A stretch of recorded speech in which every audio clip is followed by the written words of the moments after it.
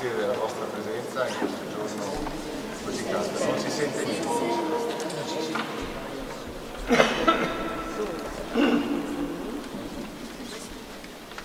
sente? Si sente la voce ma non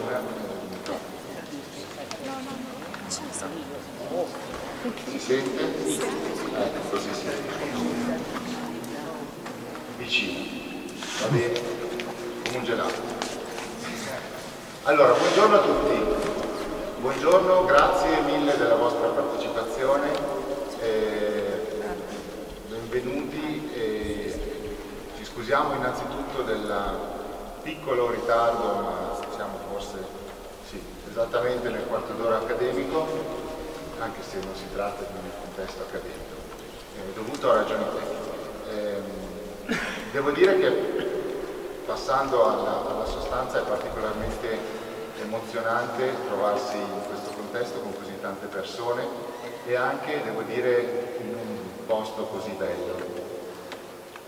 Eh, io ho l'onore, eh, l'incarico che ricoprirò in maniera indegna di facilitare la presentazione del libro, eh, essendo un po' in mezzo, anche un po' intimorito tra Ciso Forzani e padre Luciano, quindi cercherò di tenerla il più breve possibile. Inizio eh, purtroppo con una, continuo con un'altra piccola scusa o comunque con una notizia che dice che il cardinale Conti eh, purtroppo non è potuto venire tra noi oggi perché un, è stato poco bene nei giorni scorsi, ha avuto un momentaneo aggravamento delle condizioni di salute. Lui sarebbe venuto comunque ma i medici gli hanno sconsigliato fortemente di partecipare.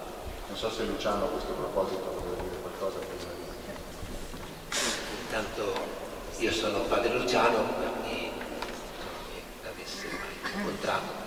E, mh, avevo incontrato il vescovo di Novara, Renato Corti, quando ero alla ricerca di un luogo dove praticare la meditazione zen e l'ascolto del Vangelo. Era molto ben disposto. Un altro vescovo l'ha preceduto nel darci un luogo a Lodi a Galgagnano dove insieme con il monaco Gesù Porzani abbiamo aperto questo luogo, ma il vescovo Corti sarebbe stato molto favorevole anche al nostro portarci a Novara. Ricordando questo e avendo tra l'altro ultimamente ascoltato un video dove lui parla proprio del che cosa significa oggi dialogo, significa cambiamento, purificazione, approfondimento, sono andato da lui a chiedergli la sua presenza per parlarci appunto di ciò che oggi sta avvenendo e mi disse subito di sì, volentieri. Sono ritornato da lui sei giorni fa, sono stato due ore, abbiamo parlato di tante cose, mi ha accompagnato lui fino alla macchina e stava bene. Venerdì sera Don Giuliano, che è il suo segretario, dice ha avuto un collasso, abbiamo chiamato il medico e il medico ha sconsigliato ogni uscita. E però lui si è impegnato a scrivere un testo che voleva oggi presentare a noi, appena starà un po' meglio lo, lo finisse e lo manda, ve lo manda. Per cui se qualcuno di voi è interessato avrà ricevuto forse un foglietto dove di lasciare il proprio indirizzo email, che vuole, e questo testo noi lo faremo circolare.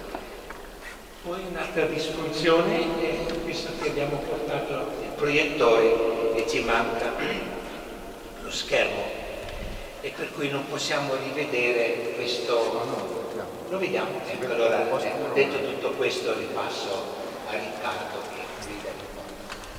Sì, lo, lo, vediamo anche se sarà un po' scuro, però possiamo vedere tra un minuto eh, proprio un intervento del, del, Vescovo Corti che è proprio quello che aveva un po' acceso il padre Luciano la lampadina la, richiesta di, venire qua oggi a partecipare. Quindi entriamo un po' a questo punto nel, merito l'incontro di oggi, la presentazione del libro. E io devo dire che sono Riccardo Donelli, ma dire, la cosa che volevo dire è che ho la fortuna di essere uno dei tanti destinatari delle lettere periodiche di Padre Luciano, quindi nel tempo ho avuto il piacere di ricevere tutte queste lettere, però quando Padre Luciano mi ha chiesto di dire queste due parole per facilitare la, presentazione di oggi, ho provato a leggerne alcune e casualmente, forse questo è il filo aggiuntivo che possiamo dire, eh, casualmente mi è capitato di guardare le eh, lettere che riguardano dei film che mi hanno colpito particolarmente. Ce n'è una che riguarda eh, il film sui monaci in Algeria e se non l'avete fatto leggete eh, l'intervento che è presente nel libro, che è veramente bello, e ce n'è un'altra che riguarda un altro film che è il film Silence, eh, fatta poco dopo l'uscita nei cinema. E volevo così leggere una riga di questa, di questa, lettera, la conclusione di questa lettera perché credo che a, a me almeno, penso a molti, eh, racchiuda il senso di, del percorso eh, di Vangelo e Zen e di tutto quello che, eh, che stiamo raccontando oggi. La, la frase è questa. Credo senza sostegno indotto, credo senza demandare altrove, credo senza posarmi su nulla oltre ciò che sono, sperimento Dio, non ho alcuna prova di Dio indotta da fuori, credo Dio, quando tutto cade, ciò che non cade in quel tutto cadere è Dio. Su una croce aggredita dalle onde del mare, un uomo dal volto mite moriva cantando un inno. Mofici. Penso che questa sia, per quanto mi riguarda, forse una delle più belle sintesi di questo percorso. Eh, senza voler aggiungere quindi altro, eh, passerei a un video, a un, a un, film, che è il video del cardinale. Semplicemente degli scorsi decenni, ma dovremmo dire che sono degli ultimi secoli, in particolare a partire dal Settecento, in particolare a partire dall'illuminismo, e poi ci sono tanti fenomeni di carattere sociale che dicono una grande trasformazione eh, della, del, del, mondo nel quale noi ci troviamo a vivere. Per fare qualche esempio eh, pensiamo ai giganteschi progetti, progressi della scienza e della tecnica, ma anche alle nuove possibilità di vita e di libertà o ancora ai profondi mutamenti in campo economico, o ancora al fenomeno epocale delle migrazioni, con il processo di mescolamento delle etnie, delle culture. E tutto questo, e altro ancora che andrebbe ricordato, non manca di influire in maniera massiccia sull'esperienza religiosa nella vita dell'uomo e mi sembra di poter notare a questo riguardo che tutti questi cambiamenti possono essere letti da due punti di vista. Un primo punto di vista che ci tengo a notare è positivo. Voglio dire che da tutto ciò che ho ricordato, solo con dei titoli, derivato, sono derivati per tutta l'umanità molti benefici che non si potrebbero sottovalutare. Credo che sarebbe sbagliata una lettura pessimistica di tutto il passato che abbiamo alle spalle o anche del presente. E sempre in termini positivi vi è da aggiungere che la Chiesa viene vigorosamente stimolata anche da tutti questi cambiamenti che rendono la strada ripida, stimolata a rendere ragione della speranza di cui si sente depositaria. E dunque la Chiesa è aiutata proprio dalle difficoltà a essere più pienamente se stessa. E questo è molto positivo. Io lo penso anche per fare un esempio molto concreto, l'incontro con i giovani di oggi. Io ho fatto tanti incontri con i giovani lo farò anche sabato di questa settimana, sarà una grande assemblea di giovani da Palermo a Verona. Eh, l'incontro con i giovani è sempre una sfida, ma io spero di riuscire a dare qualcosa a loro, ma quello che è certo che essi danno qualcosa a me, perché mi stimolano, mi costringono a trovare le parole giuste eh, e riescono a interpretare le esigenze o le attese profonde del loro cuore. E dunque leggo positivamente tutto il travaglio dentro il quale si trova la Chiesa, è aiutata a essere viva, a essere di oggi. Nel medesimo tempo non si può naturalmente non tenere conto che sono anche messi in questione dai passaggi culturali delle realtà fondamentali che fino a una certa epoca parevano indiscutibili. Faccio degli esempi. La fede in Dio creatore, indiscutibile, non è così oggi. La rivelazione portata da Gesù Cristo, anche Gesù Cristo è in questione. È andata in frontumi anche la comune comprensione di esperienze fondamentali nella vita dell'uomo, come il nascere, morire, il vivere in una famiglia, il fare riferimento a una legge morale naturale, tutte cose che sono messe in discussione. E che sono di grande rilevanza. Eh, però credo che la cosa importante sia eh, dire, un'assonanza di eh, vedute, di, di, sentire e anche di, di pratica, di vita, eh, che proviene da diversi punti di vista.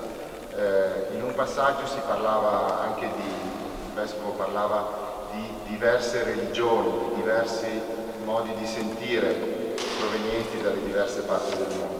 E allora proprio a questo punto vorrei agganciarmi per passare la parola a, a Giso Forzani, eh, che per chi non, non, lo conoscesse è un monaco buddista zen che ha anche avuto, tra, tra le varie tante cose, un ruolo di coordinamento proprio del buddismo zen eh, a livello europeo. E quindi passerei la parola a lui senza dilungarmi oltre con un problema di connessione. Sì.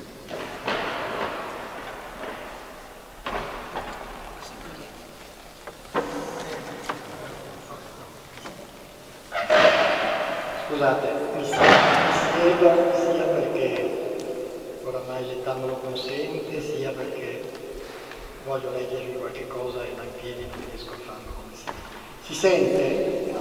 No? Eh, allora, vediamo di fare il possibile.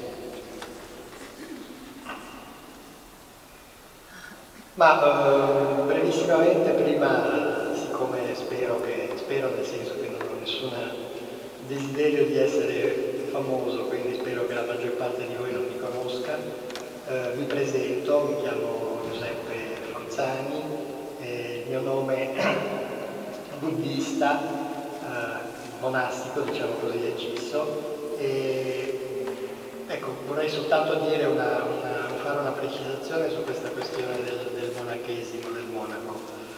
Noi usiamo, noi buddisti abbiamo diciamo così, un, un grosso problema, eh, noi buddisti occidentali, italiani, europei, americani, comunque occidentali in genere abbiamo un problema enorme che è quello di non avere una lingua, non avere ancora una lingua con cui eh, esprimere nostro, la, la, visione buddista del mondo, il modo di sentire, eh, tutto quanto, insomma, tutto quello che costituisce la forma culturale di una religione. E prendiamo prestito, eh, più che altro da traduzioni dal, dal sanscrito, dal pali, dal cinese, dal giapponese, ecco, una terminologia che però prima o poi dovrà necessariamente, perché il buddismo semmai prenderà piede, semmai si radicherà eh, in queste, in queste terre occidentali dovrà per forza esprimersi con un solo linguaggio, come è successo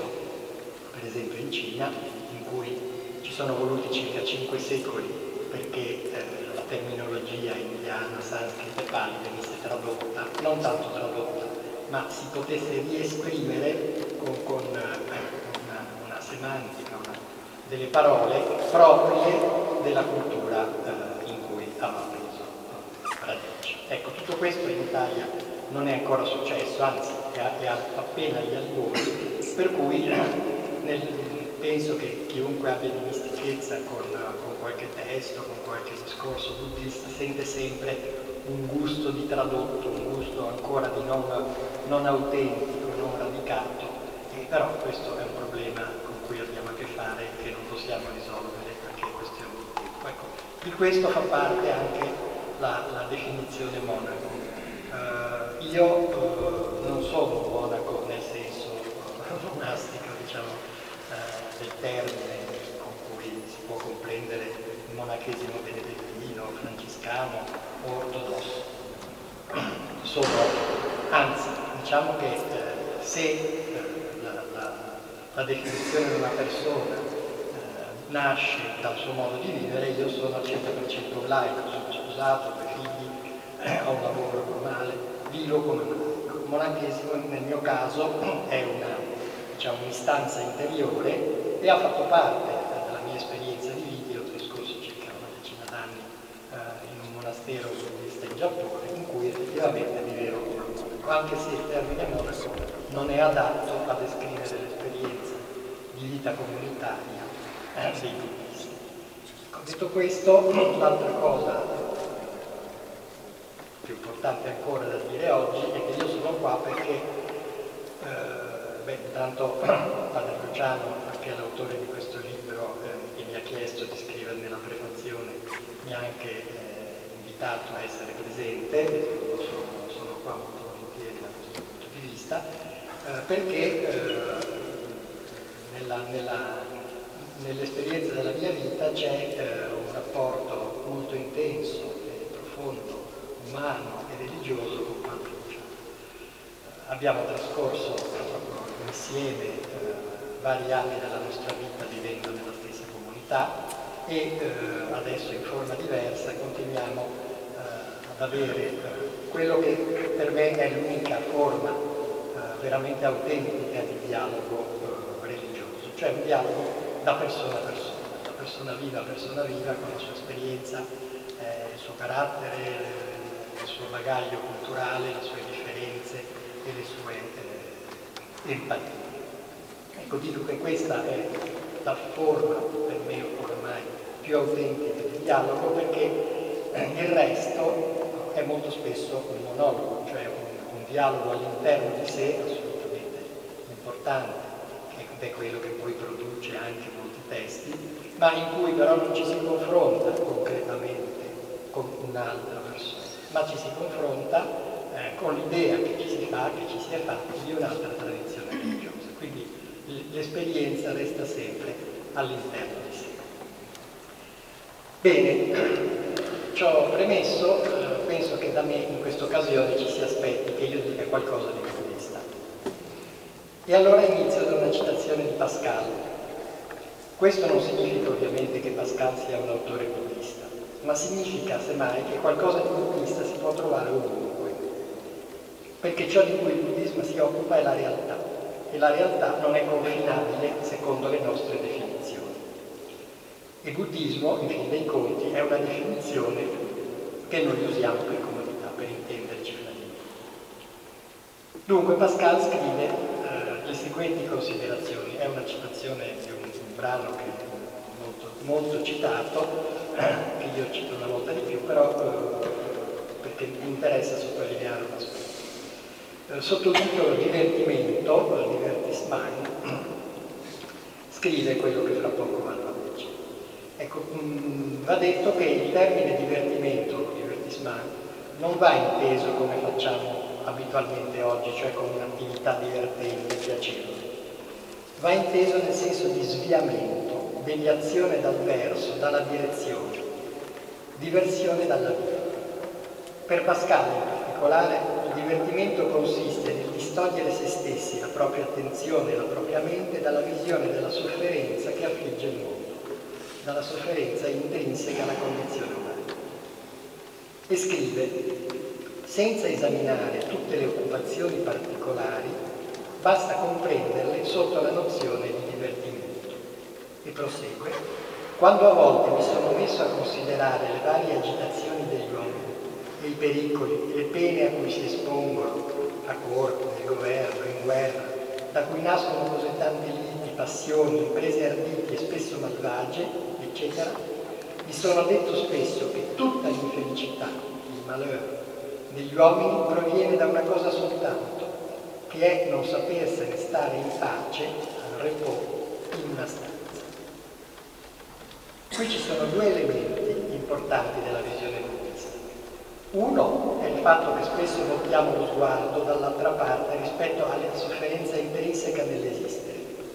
E su questo détournement, lo sviamento del nostro sguardo, costruiamo l'architettura del nostro vivere un far finta che non ci sia quel che non ci piace, quel che ci disturba e dunque una ricerca del benessere, dell'arricchimento materiale, intellettuale, spirituale, volta a evitare il confronto diretto con la realtà della condizione umana, che è realtà di sofferenza.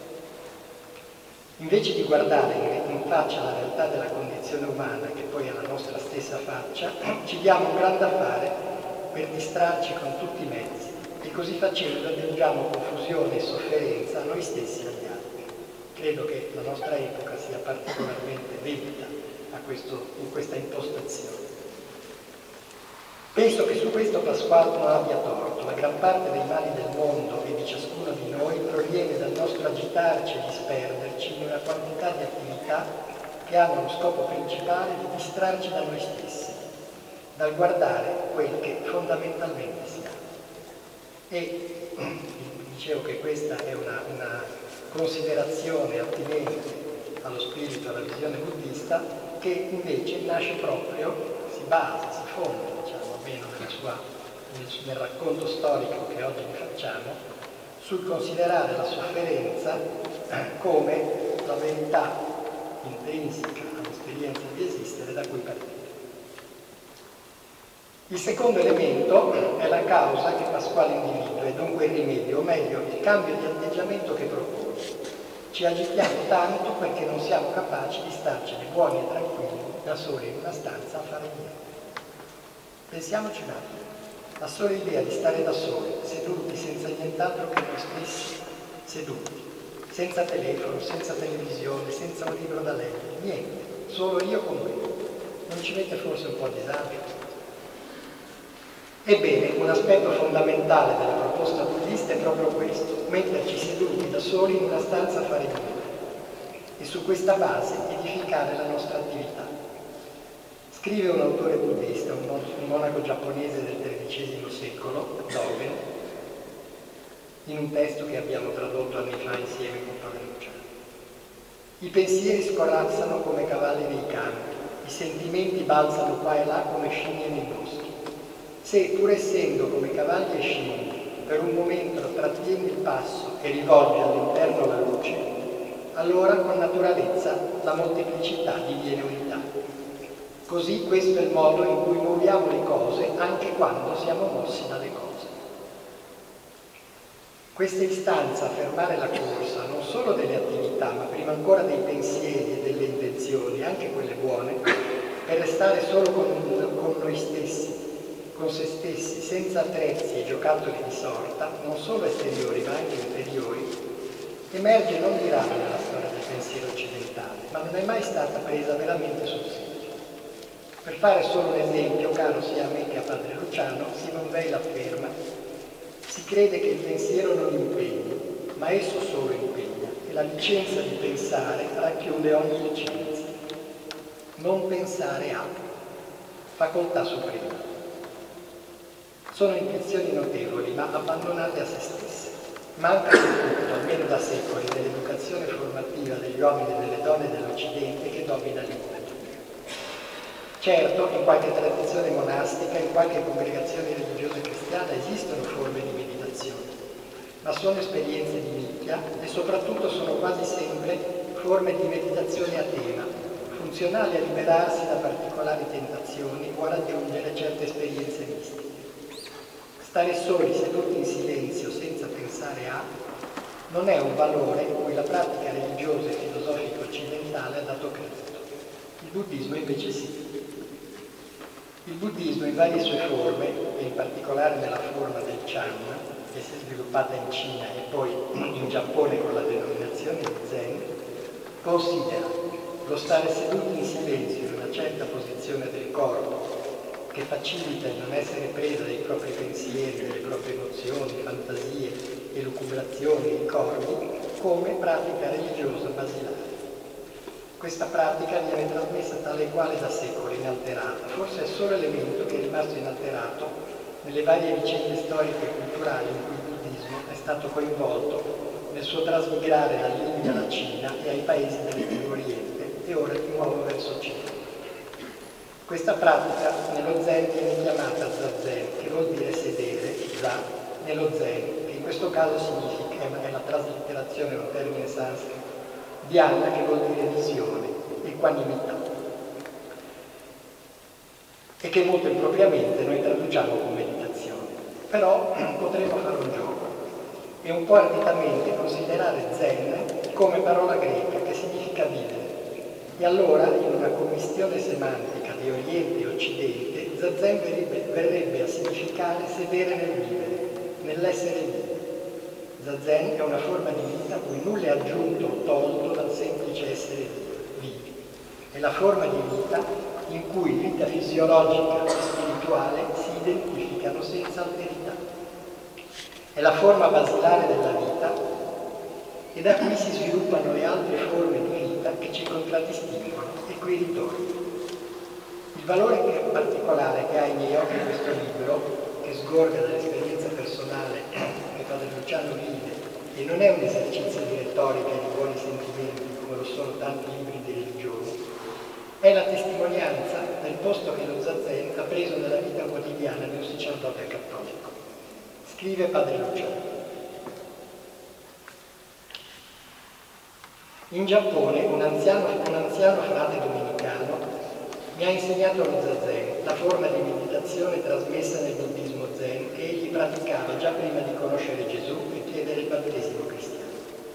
È una forma di meditazione tanto semplice quanto esigente da anni io, inizio la mia giornata sedendo in zazen, a prevenzione dal cadere in quella giornata nel profluvio delle parole.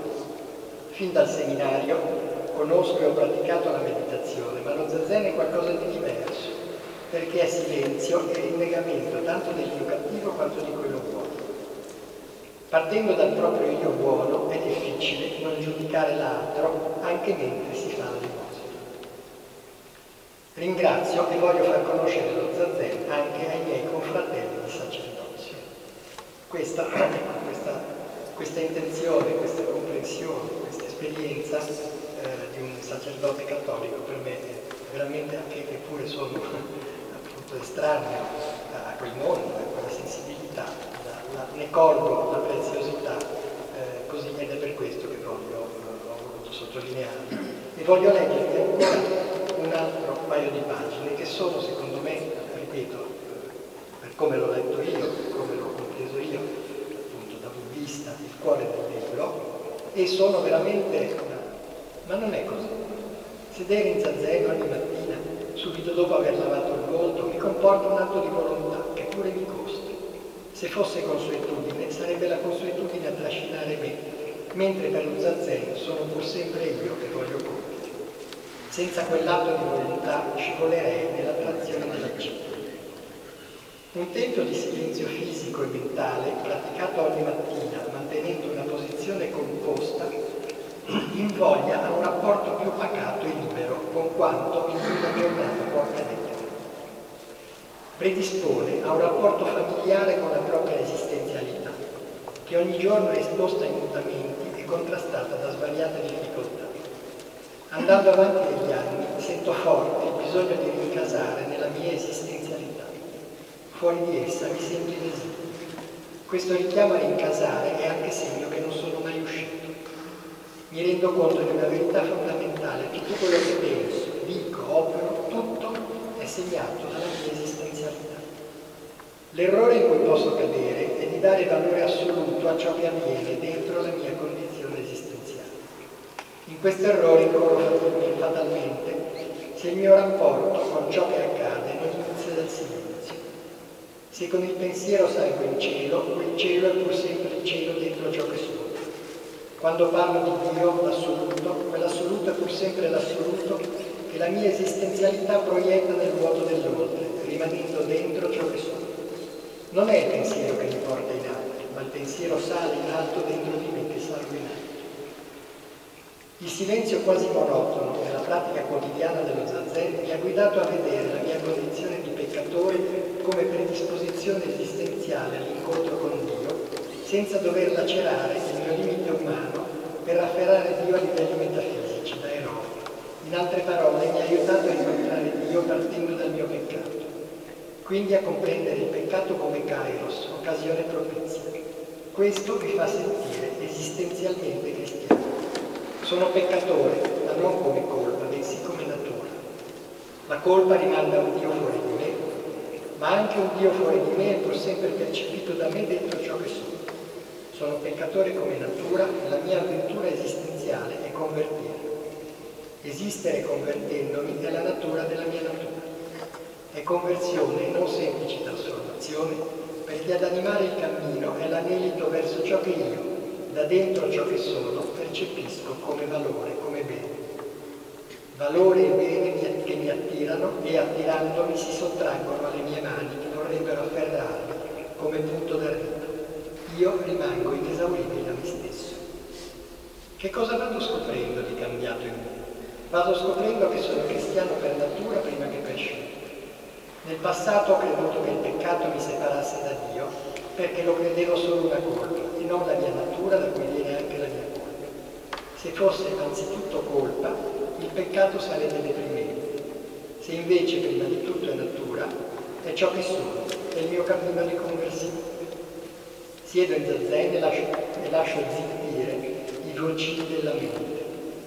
Per un attimo il colpo di sonnolenza mi prende e perdo parzialmente l'equilibrio mi risveglio e mi chiedo, e mi chiedo dove sono? Sono qui. Ecco, questa pagina di una diciamo, praticante dello zazen cristiano per me è veramente comunicativa, eh, anche se la mia esperienza è ovviamente diversa.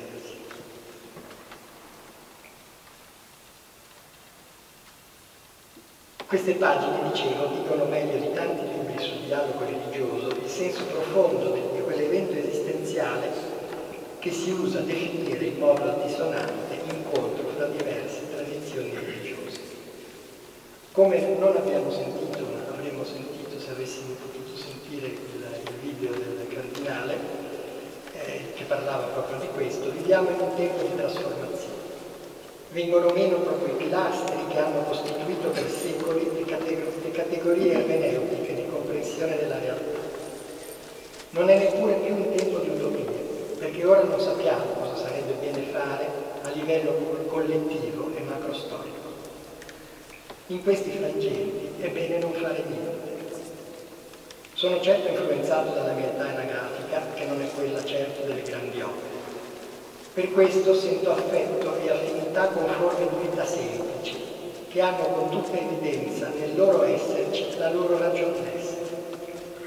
Provo in particolare simpatia verso i rombelli, forme di vita che svolgono una funzione importante che coincide con l'essere quello che sono. Non devono mostrare e dimostrare nulla e sono pienamente operativi. Con la loro funzione fisiologica ossigenano il terreno contribuendo a renderlo fertile e a rendere possibile semina e la germogliazione di vegetazioni oggi impensabili.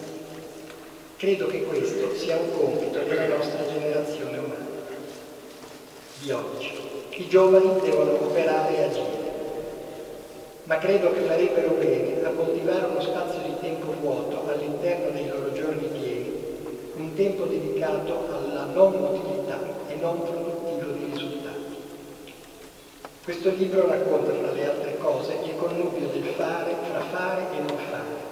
È ricco di spunti vivaci e di indicazioni che fanno capire in modo immediato e non retorico quanto sia importante e benefico che il nostro agire, di pensiero, di parola e di gesti, affondi le radici nell'irrilevanza costitutiva del nostro esserci. Grazie.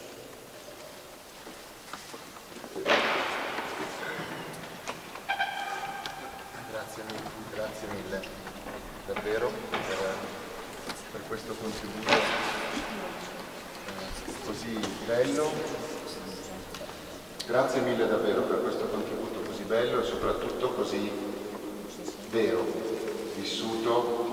E la cosa che mi ha colpito è come le parole eh, si riflettessero in un'esperienza eh, negli anni, ma anche proprio un'esperienza in questo momento. Osservavo i volti, eh, cercavo di osservare anche il mio, di tutti voi partecipanti e eh, mi sembrava che stessimo vivendo un'esperienza in assonanza con quello che Ciso ci stava raccontando. A questo punto lascerei la parola al padre Luciano.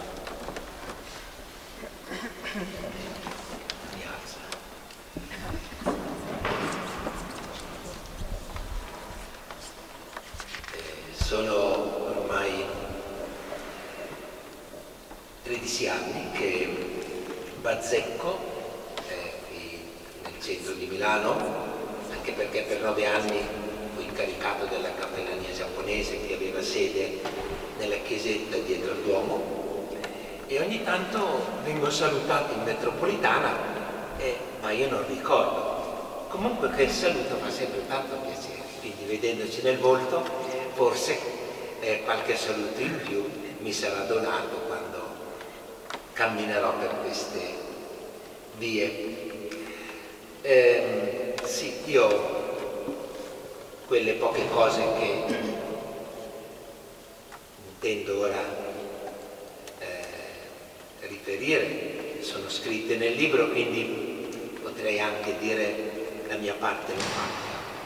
Però sento un dovere eh,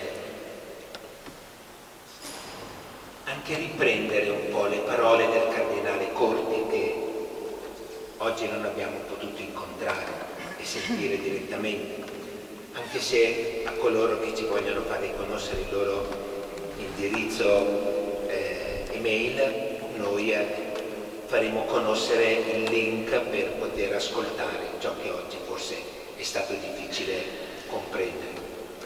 Eh, ultimamente mi diceva, ormai io faccio una sola cosa, sono diventato come un bambino e tutti i giorni mi capita qualcosa di nuovo e lo scrivo sul, nel diario. Mi ha commosso questo perché si tratta di una persona maturata non solo dagli 84 anni ma da un'esperienza anche di servizio alla Chiesa veramente dedita che Papa Francesco ha voluto anche riconoscere cardinale benché avesse già 82 anni, quindi non avrebbe potuto da qui in avanti svolgere funzioni particolari. E riprendere quello che lui, eh, a chi è stato possibile cogliere le parole che sono state poco fa eh, trasmesse, dice il mondo è in una grande trasformazione. La grande trasformazione stimolata dal cammino scientifico e tecnologico. Poi enuncia un, un altro stimolo che promuove questa trasformazione ed è il fatto che le ideologie non hanno prodotto i loro frutti. Cita l'illuminismo possiamo citare il comunismo, possiamo citare eh, il capitalismo. Poi aggiunge il fenomeno dell'immigrazione che ci, fa, ci coinvolge tutti in un incontro o dialogo, se volete scontro, con culture differenti e con esperienze religiose differenti. Noi missionari abbiamo questa grazia, credo, di scegliere di essere inviati in un'altra cultura. Noi severiani l'abbiamo proprio nel, nello statuto fondamentale, nella Costituzione, che non, non, non dobbiamo, non siamo chiamati a ripetere la, la testimonianza della fede cristiana nelle forme in cui siamo cresciuti. Dobbiamo a un certo punto disturbare queste forme e vivere dove le forme di espressione umane, anche le sensibilità umane, sono differenti. E questa è una bella avventura, sapete, perché in genere un po' tutti, eh? io senz'altro, si arriva come dei bulldozer per 5-6 anni, eh, si vuole riformare il mondo intero, si dice che siamo andati in culture differenti, dove ci sono espressioni religiose differenti e facciamo tanti inchini a tutti i monesi buddisti o sintoisti che passano, ma dentro noi è tutto quasi un osservare bene per trovare poi eh, lo spiraglio giusto per poterli poi attrarre. Dopo una decina di anni che tutti logori tutto questo ti, e ti trovi a terra. Lì comincia la vocazione missionaria. Ecco allora l'ascolto, ma non solo. Ti rendi conto che quelle forme religiose e culturali in cui tu sei cresciuto e che per te furono tanto preziose, quelle forme non sono tutto. Per me lo stupore grande è questo. Il buddismo ha promosso nell'umanità un rapporto con la vita e con le prove della vita molto prezioso e liberatorio per tante persone e non pronuncia il nome di Dio. Ma non solo non lo pronuncia, non pronuncia il concetto di Dio. Non pronuncia il concetto di Dio. Non, la, non pronuncia Dio, non pronuncia il concetto. E, e quindi ecco allora il secondo periodo della vita missionaria, che per me fu molto breve perché dopo 19 anni fui richiamato in Italia però grazie a Dio ho potuto continuare ancora lo stesso cammino qua. Comprendo le parole che il cardinale diceva. Questi cambiamenti, queste situazioni nuove ci mettono alla prova e mettono alla prova la Chiesa. Se non sa dire la sua fede solo una, con quelle parole, solo con quei gesti, solo con quei progetti, solo in quello stile. Stimola a dire la speranza, le ragioni della speranza.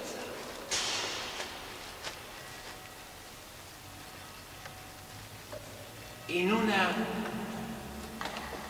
diciamo così, esperienza della speranza che parla al mondo nuovo, così differente da quello in cui tu sei cresciuto e da cui hai appreso quelle formule per dire il tuo messaggio. E cita la creazione.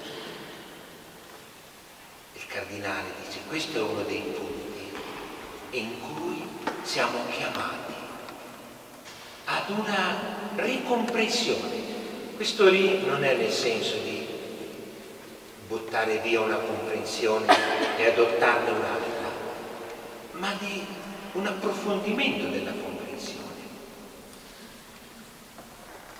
Penso che molti di voi abbiano letto un libretto che sono le sette lezioni sulla relatività generale di Rovelli, no?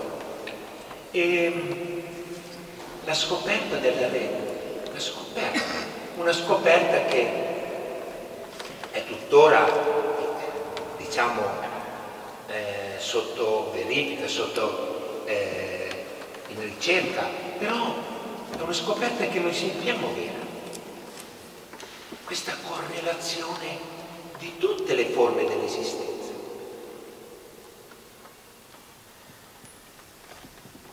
Tutte le forme dell'esistenza. E con l'esperienza di Nicola Usano, l'esperienza del Silesio, giungere, o anche di Tommaso d'Aquino, che parla di una creazione che è sempre in atto. Vorrei chiedere a voi, quanti di voi si sentono sereni nel nell'esprimere questa fede, questa espressione di fede che è cogliere che la realtà è creazione, è creata. Che un giorno ci fosse un Dio creatore senza aver creato nulla, come se Dio ci fosse senza che noi ci siamo. E quindi Dio non avesse relazione.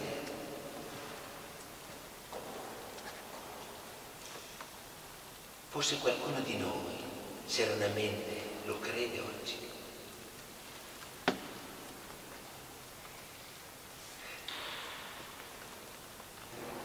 Ieri l'altro in Duomo una signora mi ha parlato del nipotino, nove anni, tumore, tanto aspettato dai suoi genitori, poi tumore alla gamba. Pareva salvato, guarito, ed ora il tumore si è diffuso. E la nonna mi diceva, il bimbo voglio giocare, voglio guarire per andare a giocare. Ovviamente la nonna diceva questo piangendo.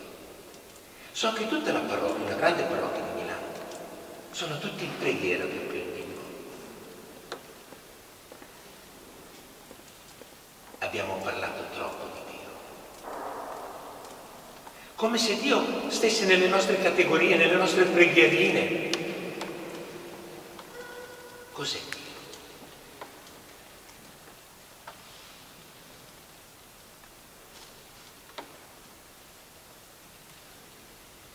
Io risponderei nelle lacrime di quella nonna.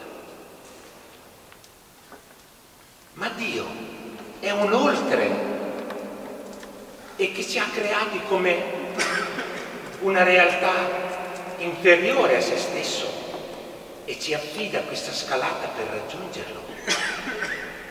E se Dio invece fosse il fondamento che tutto anima, stimola.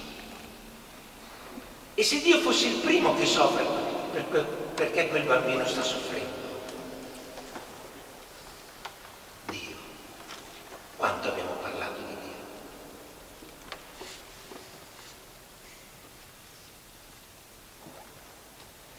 Spesso io penso anche, ok, io figlio di una coppia di contadini, tanto umili quanto nobili. Sono qua, sono prete, nonostante tutto sono qua. Ma prima che questa generazione umana ponesse noi nell'esistenza e noi potessimo accedere agli studi, la scienza ci dice che la vita ha fatto un processo di milioni e milioni di anni. Quante forme, diremmo noi oggi, vedendo dal nostro, dal nostro punto di vista, forme non solo incompiute, ma forme ancora diremmo violente, ci hanno preceduto. E mi domando, che senso ha? Che io abbia a sperare in un paradiso individuale. Ma questo individuo che sono io è una proprietà del mio io. Oppure in una corrente di trasformazioni ed evoluzioni. Questa goccia ora sprizza, è colpita da un raggio di sole, ma che spiegazioni sul fatto che io sono qua?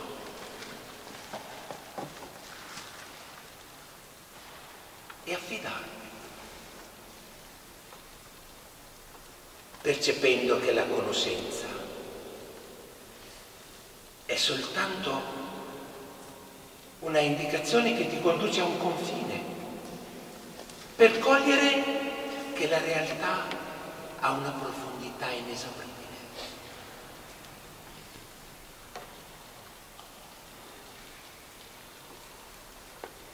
Diceva il cardinale Corti, dobbiamo comprendere in modo più profondo che cos'è il nascere, che cos'è il crescere, che cos'è il morire. Che forse abbiamo interpretato come un compito da svolgere per raggiungere una meta, la quale meta coincideva col mio trionfo, con il collocare me a possesso della mia esistenza.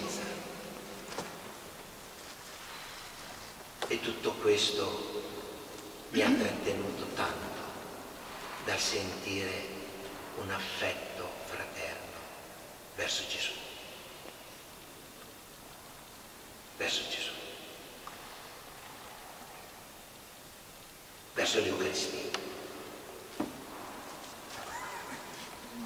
Ho desiderato tanto mangiare questa cena con voi. Non la mangerò più finché il passaggio non sia completo. Non berrò più frutto della vita finché non siate tutti con me nel regno del Padre,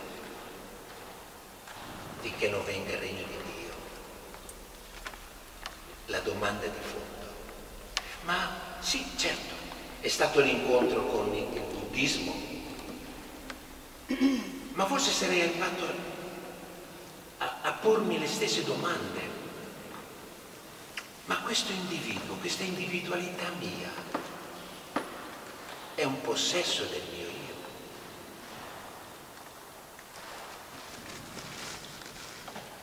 o è una goccia di questo flusso della vita eterna. La vita eterna è il possesso di un proprio posto privato, individuale, o è la comunione dei santi? La comunione dei santi quando, come dice la lettera ai Romani, chi ha la fede forte non ce l'ha per il proprio paradiso, ma per sostenere chi ha la fede debole.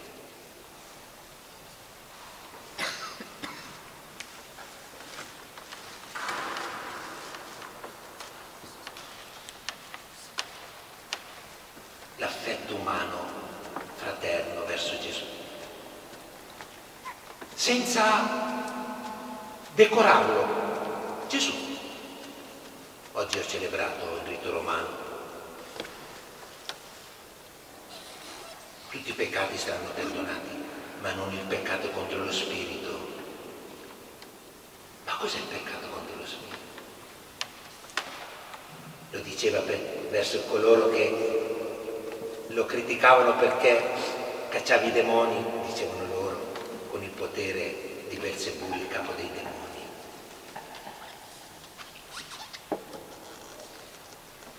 peccato contro lo spirito, che non sia proprio questo, non mollare il proprio io. Eppure io non ho che questo piccolo io da offrire. Il sutra del cuore dice le forme tutti gli oggetti che esistono, tutte le forme esistenti, sono vuoto. Il vuoto è tutte le forme esistenti. Io.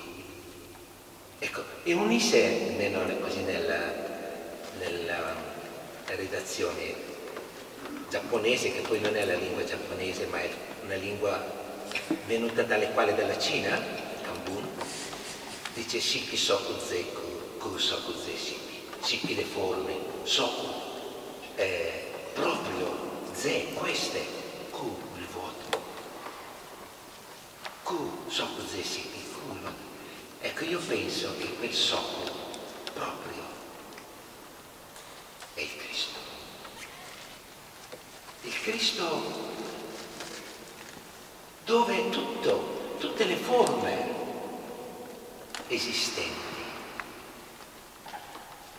nella, si, si offrono alla grande comunione, compreso Dio. Io lo scrivo anche nei miei libri. Eh, Cristo non è soltanto il Salvatore del mondo, ma anche di Dio. perché il Padre è tutto nel Figlio e il Figlio è tutto offerto al Padre, ma quel legame in mezzo non è un ponte con la ringhiera, quel legame in mezzo è lo Spirito, è il vuoto, è il vento, è l'amore. E in quello Spirito tutti gli io tutte le individualità.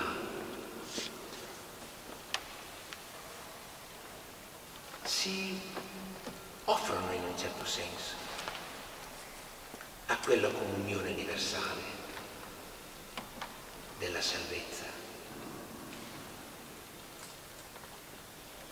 Credo che in questo socu, ossia il vuoto, queste le forme, le forme, proprio questo il vuoto, quel sogno, quel proprio ci sono anch'io.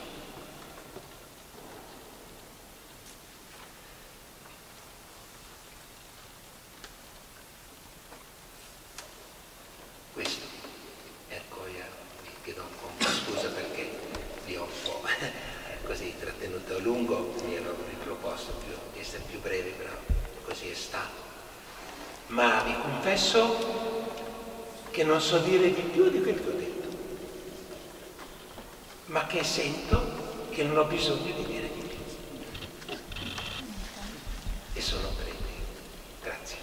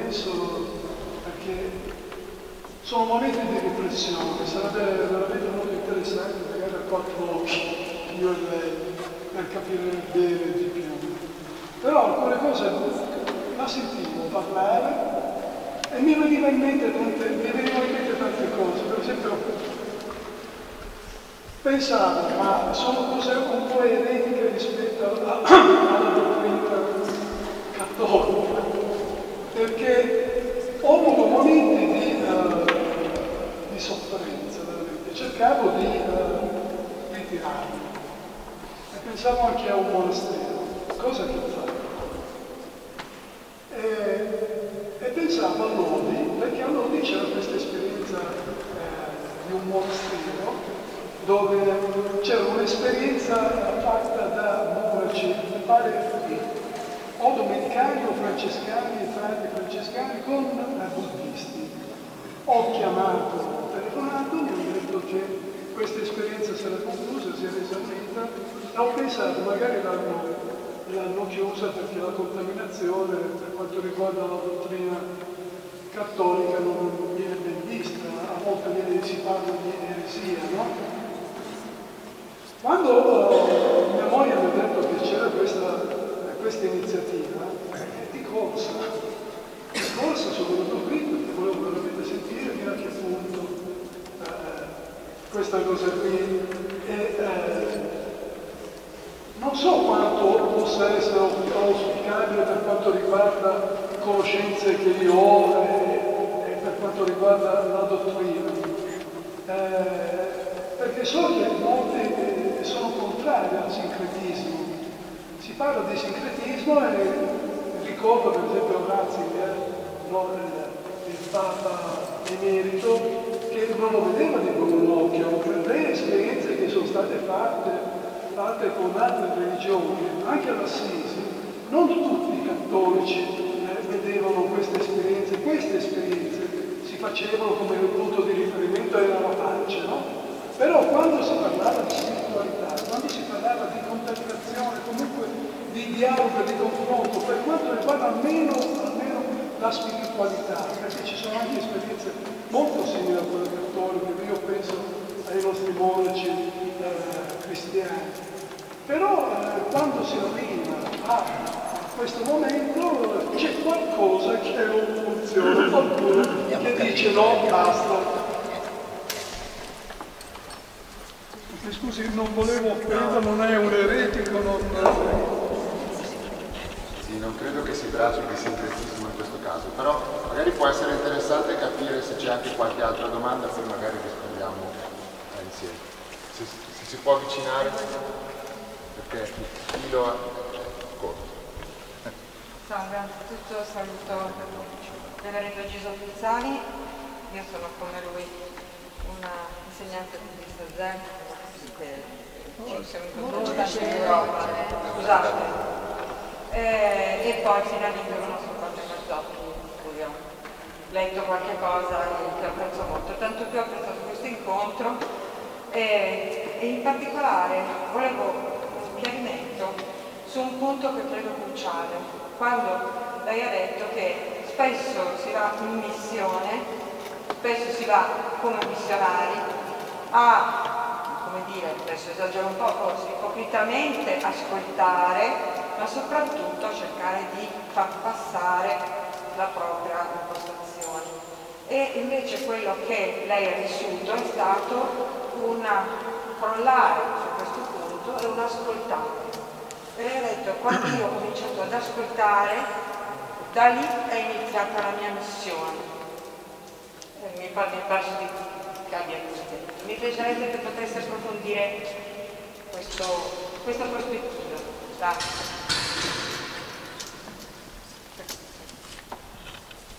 Grazie, magari una terza domanda?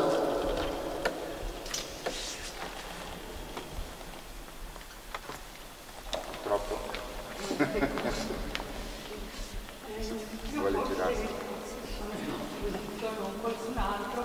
Volevo chiedere quando, quando lei ha detto che nel vuoto, nel vuoto lei conosce Cristo, credo tutto, ecco, io l'ho detto con una forzatura. No, io non ho detto, ho detto tra le forme e il vuoto.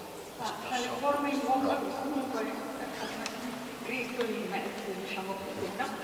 Eh, a me sembra una forzatura, questo voler vedere Cristo comunque dappertutto. E come non so se non sto stata, forse si potesse detto, sempre vedere dappertutto infilato da tutti i corpi, da tutte le parti, per cui alla fine tutti devono riconoscerlo e anche da loro, e anche presso di loro. Volete magari rispondere un po' per... Ma penso che... Eh beh, intanto il segretismo non è so, eh, adornare l'altare con l'ikebana, che invece è un fiore più tradizionale, eh, che sarà usato nelle espressioni religiose giapponesi, sintoiste o se vuoi anche buddiste, no?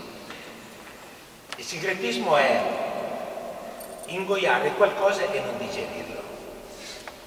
Ecco, tutto ciò che digerisce tu diventa tuo digerendolo, no? Io questo credo che certamente a volte capita di vedere persone che rincorrono a una forma religiosa, poi un'altra, un'altra, e si dilettano in tutte queste forme, beh io ci suggerisco che ci sono libri eh, che soddisfano di più, basterebbe prendere Paperino, no? Ecco, c'è questo, è bello perché ti diverte e, e ti dà ciò che tu cerchi. In religione si cerca di entrare nel profondo delle, della realtà E questo profondo della realtà non lo possiede nessuno, perché noi siamo la realtà, e la realtà è sempre in evoluzione, sempre in cammino, è sempre in creazione. Eh, io ho avuto una lettera di incoraggiamento da Cardinal Ratzinger eh, e penso di essere profondamente in comunione con eh, la missione che, a cui mi sono votato, che è quella di sacerdote cattolico. Eh, forse Gesù dicendo il peccato contro lo spirito intende proprio dire il peccato di volere mettere la verità dentro una forma digitale. Peccato contro lo spirito. Quindi Ecco, credo che eh, soprattutto in un cammino religioso dobbiamo vivere una onestà che non si appoggia, che non, eh, che non si appoggia delle motivazioni esteriori. È la tua fede che ti salva, dice Gesù, la tua fede. Poi dopo la tua fede te la vedi riflessa in una forma, in un gesto, certo, ma è la tua fede che ti sa, no? Il tuo cammino. Poi l'altra seconda domanda era... Cos'è? Eh? Ah, Cristo dappertutto, no? Sulla missione, l'ascolto e la missione. Ah, l'ascolto e la missione. Però anche il primo periodo ci vuole. Anzi vi dirò che se uno va in missione floscio floscio dice già qui non, non devo portare eh, mie, i miei modi di pensare e di dire e arriva in missione già sconfitto, non fa nessun cammino. No? Occorre anche questo scontro. E quello che è importante, attraverso questo scontro fare un cammino. Eh, ho portato tante volte questo esempio che qualche uno può chiudersi le orecchie, ma era forse il sesto o settimo anno che ero in missione in Giappone e una famigliola che abitava in montagna, a 45 km da dove abitavo io, voleva conoscere il Vangelo. Andavo una volta alla settimana, dopo un anno propongo il battesimo. Ci pensano su e la volta dopo mi dicono qui in montagna dove abitiamo noi non c'è nessun cristiano e abbiamo pensato di non prendere il battesimo. E poi aggiunse quella signora, ma ti diciamo la verità, di tutte le tue spiegazioni di quest'anno non abbiamo capito niente. E io ho taciuto. E ho detto, comunque anche se abitate così lontano, ci venivo volentieri da voi in montagna. Qualche volta che sono libero, se vi vengo a trovare da amico, avete piacere? Ma certo. Una sera di dicembre vado con la moto, su su, nevica, cado, mi ferisco, arrivo con una bella serata assieme e torno a casa. Dopo un mese vado ancora e la signora, sei venuto quando nevicava e subito noi abbiamo pensato che ci dicevi ancora di prendere il battesimo, invece non ci hai detto niente. E io, ma mi avete detto che non lo prendete, io vi rispetto sono venuto da amico. E la signora, allora tu sei capace di essere amico anche senza interesse del tuo mestiere. Dice, certo, siamo amici. Guarda, delle tue spiegazioni non abbiamo capito niente, ma un cuore così, lo chiediamo anche noi. Puoi battezzarci lo stesso? A Pasqua non ricevuto il battesimo. Quindi non furono le mie spiegazioni di un anno, ma io ero veramente convinto che non prendessero più il battesimo. Sono andato da amico. Se per caso dentro c'era ancora la fregola di convincere a prendere il battesimo, non avrebbero colto ciò che invece hanno colto da questo vuoto. Da questo vuoto, no? E così anche in tutte le discussioni che noi facciamo sulla, sulla sofferenza, sulle questioni del mondo, eccetera senza quel vuoto probabilmente ci possiamo irrigidire. Tirare fuori sempre Cristo. Beh, io penso che ogni religione, che è una religione che ha un'esperienza di secoli, che è stata praticata da tante persone, custodisse un aspetto reale della realtà.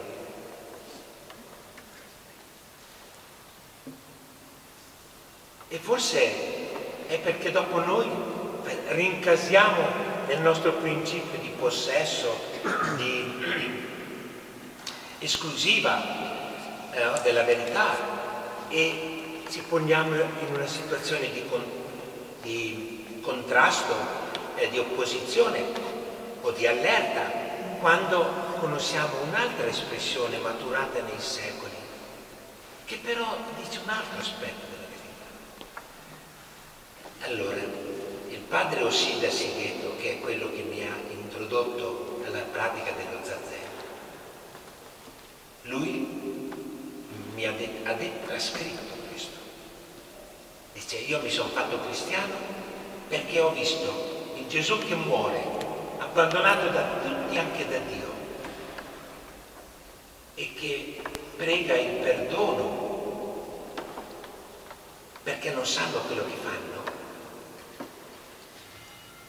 non direbbero in questo vuoto, no? Dice, ho visto lo zen dello zen. Sue parole, lui si è espresso così, lo zen dello zen. Per cui penso che chiunque segue un cammino religioso, se è un vero cammino religioso, segue qualcosa di universale. Che poi non è più universale quando ne fa, ne fa una sua proprietà esclusiva. Per cui certamente per me Cristo è tanto nell'ostia dell'altare, sacramento della sua presenza tra di noi, come è in un pulviscolo della terra, come pulviscolo, là è come sacramento. Ma per me tutto è cristico, nel senso che sono tutte individualità in comunione dove la radice ultima non è l'io, ma è la, la comunione, l'amore. Dio è amore. Se Dio rimanesse indipendente, assoluto, come dice il termine assoluto, senza relazione, Dio non è amore. No? Non so se questo, su quest'ultima cosa vorrei dire credo che sia importante. Eh, questo diciamo, malessere, chiamiamolo così, di eh, sentire un cristiano che dice che Cristo è ovunque, che, tutto, che Cristo è ovunque, anche eh, là dove la realtà non è espressa, diciamo, è descritta in termini cristiani. Secondo me deriva da, da una, un errore di fondo che è comunissimo eh, che è un errore proprio classico del nostro, della nostra uh, ontologia occidentale. Pensare che esista la vita separata dalle forme di vita. Non c'è una vita che non ha forma. Non esiste una vita che prende forma di vita. le, la vita sono le forme e quando Padre Luciano eh, chiaramente e, e, sinceramente dice io mi, mi, mi scopro, mi sono scoperto naturalmente cristiano, non per scelta, non per eh, diciamo così, convers- e, e, la conversione non è la, la conversione da un, essere, da un non essere a un essere, ma è una conversione di vita continua, come la creazione. Ecco, questo significa che un cristiano deve vedere Cristo ovunque, nel buddismo, nell'induismo, nel cristianesimo, nell'ateismo, ovunque, perché è una forma di vita cristiana. Un buddista vedrà diversamente, adesso non ci, non ci occupiamo di questo, ma questo è l'importante, non è un ficcato dappertutto, è, un, è, è proprio qualcosa che viene da dentro. Quando eh, Padre Luciano fa zazen, non è che diventa buddista, fa zazen ma cristiano. Questo è importante che sia.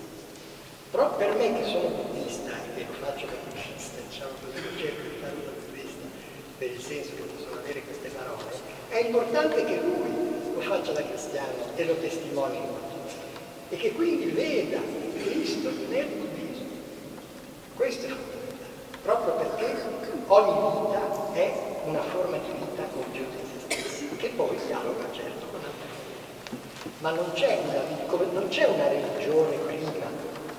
Io questo è una cosa che ho sentito dire spesso, ma sulla quale ho grandi dubbi che esista una religione prima delle religioni.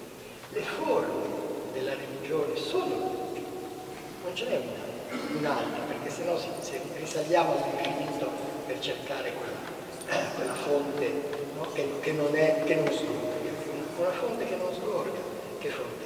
Ogni fonte sgorga ed, è, e diventa un fiume, e diventa poi fiume. Ecco, questo è il nostro importante. Per questo è fondamentale che testimonianza cristiana sia cristiana che non e che quindi un cristiano veda Cristo.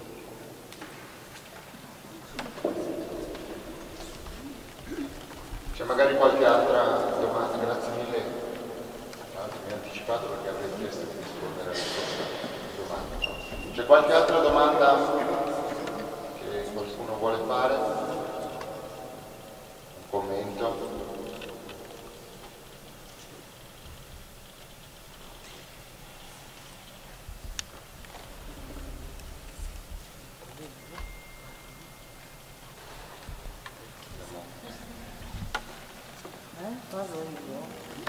Prego. Senta, essendo giapponese, io vorrei dire una cosa, scusi.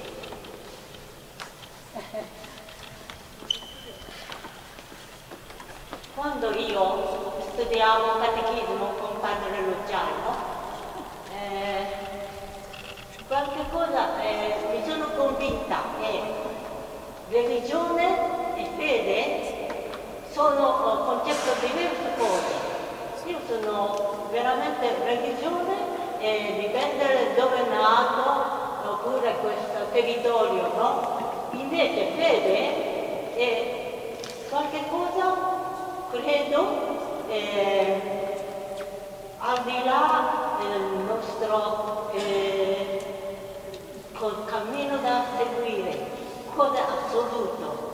Questo è eh, dove nato, io sono nato in Giappone, quindi eh, sono stata buddista e eh, questo io non, non, ho potuto rifiutare. Però dopo, quando sono stata in Giappone, eh, Italia, e poi eh, guardavo il cammino del, degli italiani, allora qui qualche cosa diverso. Eh, per quello che eh, sono andata da padre Luciano, eh, questo è proprio fede, eh, prima di eh, convincermi di quella cosa di eh, questo cristiano, cioè quello che non ho sei anni impiegato, prima di tre anni non ho potuto credere. Come mai Maria ha avuto senza rapporto, eh, ha avuto figlio. Questo è, però per dopo, dopo tre anni mi sono accorta che questo è fede, fede è, è un'altra cosa. Eh, per quello che eh, padre Luciano è seguito e poi alla fine eh, sono stata battezzata, adesso sono molto molto contenta. Magari l'ultima domanda se qualcuno vuole aggiungere o commentare.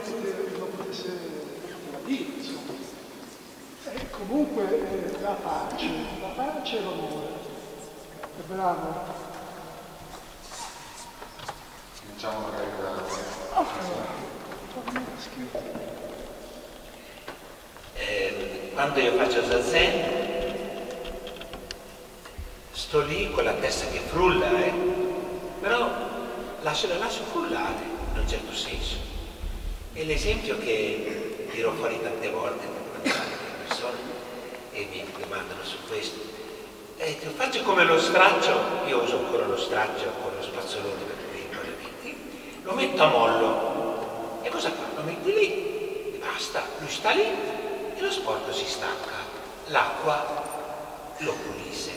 È così, io quando mi metto lì mi lascio pulire. Ma se per caso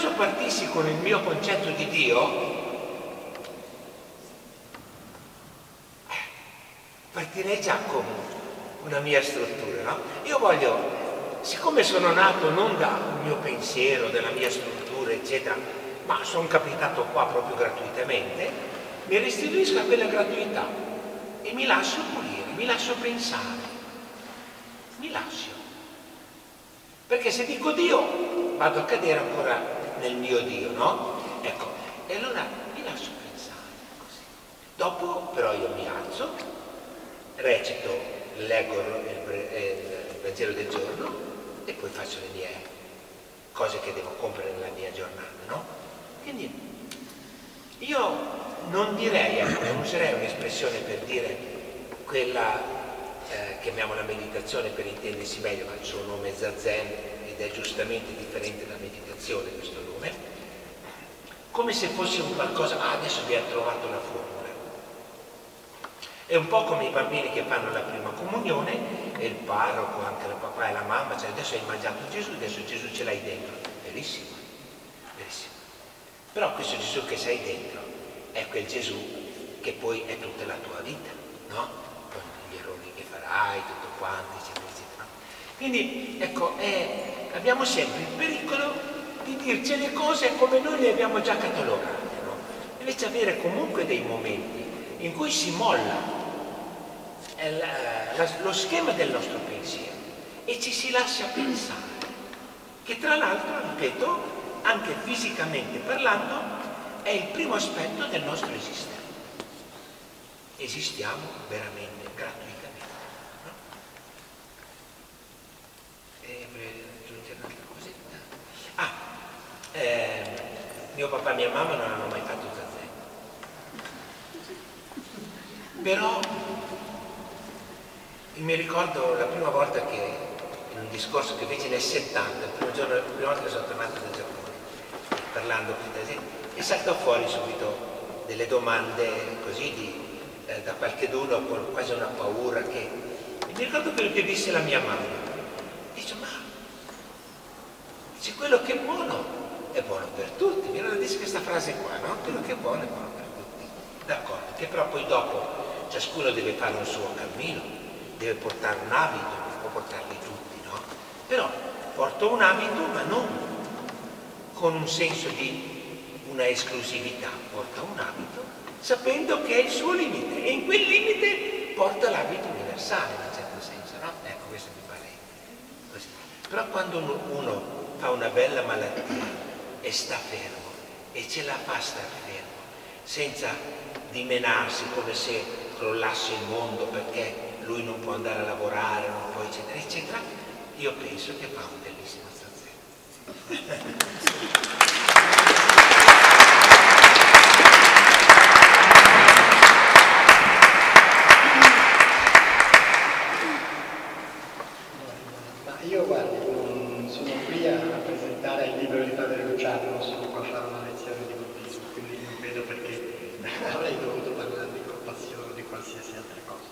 Comunque, in breve, la conclusione eh, in sintesi è questo. È la certezza che abbiamo in comune io, lei e chiunque altro. È la certezza del nostro amore. Questa è la conclusione.